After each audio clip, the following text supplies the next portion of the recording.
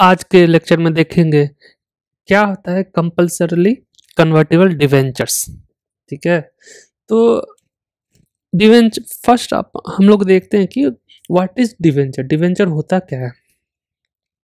तो अगर डिवेंचर का डेफिनेशन देखें तो आप देख सकते हैं कि इस पे कि debenture is a medium to long term debt security तो पहला कीवर्ड इसका है ये डेट सिक्योरिटीज है। मतलब कोई भी कंपनी हम लोग देखेंगे इसका मतलब क्या होता है? Which a company issue you know to borrow money from investor तो ये डेट सिक्योरिटी का मतलब है कि किसी प्रकार का लोन ले रहा है। तो कंपनी बहुत बड़ी कंपनी होती है, और कंपनी को बहुत ही कैपिटल के लिए पैसे चाहिए कैपिटल चाहिए। तो इसके लिए यह एक debt you know debenture issue करती है, जिसमें कि यह डिवेंचर बहुत सारे इन्वेस्टर इसमें इन्वेस्ट कर सकते हैं और अगर ये, जैसे फॉर फॉर एग्जांपल मैं एक आदमी हूँ, ठीक है, कोई आदमी है, वो उसने इस डिवेंचर को बाय किया, ठीक है तो उसको इसका एक मेच्योरिटी पीरियड होता है, और उस मेच्योरिटी पीरियड तक इसको हर हर ईयर एक इंटरेस्ट फिक्स्ड इंटरेस्ट रेट दिया जाता है यू नो? तो दूसरा कीवर्ड है फिक्स्ड इंटरेस्ट रेट तो इन, इस इन्वेस्टर को फिक्स्ड इंटरेस्ट रेट दिया जाता है और फिर मेच्योरिटी होने पे उसको प्रिंसिपल रिटर्न कर दिया जाता है। तो कुल मिलाकर डिवेंचर यही है। ठीक है? तो अगर डिवेंचर का फर्दर फॉर्म देखें तो ये कन्वर्टिबल भी होता है और नॉन कन्वर्टेबल होता है। तो भाई ये क्या चीज़ है? कन्वर्टेबल क्या है? नॉन कन्वर्टेबल क्या है? फ़र्स्ट देखते हैं कन्वर्टेबल डिवेंचर क्या होता है।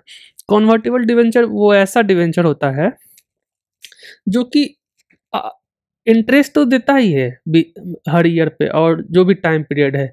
बट आफ्टर मेच्योरिटी इसको कंपनीज़ के इक्विटी इक्विटी में कन्वर्ट किया जा सकता है। It's can be not must be मतलब ज़रूरी नहीं है। अगर इन्वेस्टर चाहे कि हमको कैश मिल जाए और कुछ पैसे मिल जाए प्रिंसिपल अमाउंट मिल जाए तो उसको प्रिंसिपल अमाउंट मिलेगा।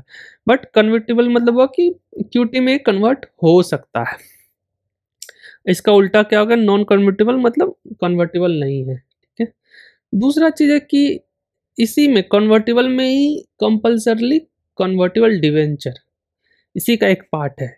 ये ऐसा डिवेंचर है जिसका कि whole value of debenture must be converted to companies equity after specified time तो इसका मतलब है कि जितने भी वैल्यू होंगे डिवेंचर को, इसको इंटरेस्ट मिलते रहेंगे।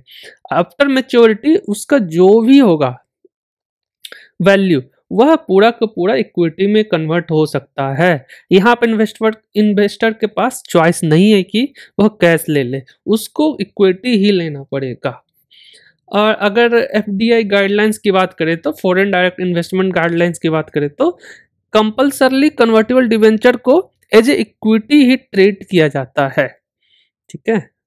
उसके बाद अगर सेक्शन 71 ऑफ़ कंपनीज़ एक्ट 2013 की बात करें तो वह बोलता है कि company could issue debenture with an option to convert into share either wholly और पार्टली मतलब कि ये चीज़ मेंशन है कंपनी एक्ट 2013 में कि कंपनी अगर कोई इशू डिवेंचर इशू कर रहा है तो उसको पार्टली और होली पूरा का पूरा भी कन्वर्ट कर सकते हैं इक्विटी और शेयर में। ऐसा प्रावधान है वहाँ पे।